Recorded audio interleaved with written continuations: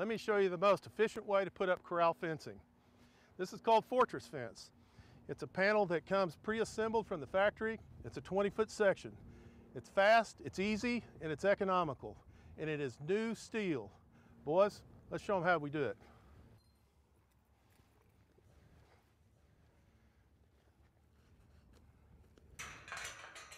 Now if you'll notice on this end, we have the connectors already inserted. As you see, we leave a little gap right here and we won't weld this. We will leave that for as a natural expansion joint so at heat and cold expands and contracts the steel because it does. It won't bow your fence. Now that we've got this panel joined to the previous panel, we're going to attach it to the remaining two posts. Now, in most cases, you would probably just weld the panel directly to the post. But in case you didn't want it to be a completely permanent installation, we're going to use this clip to install.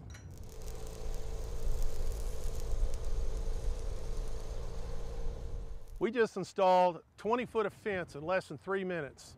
And now you have a good looking, solid steel fence that'll last you a lifetime.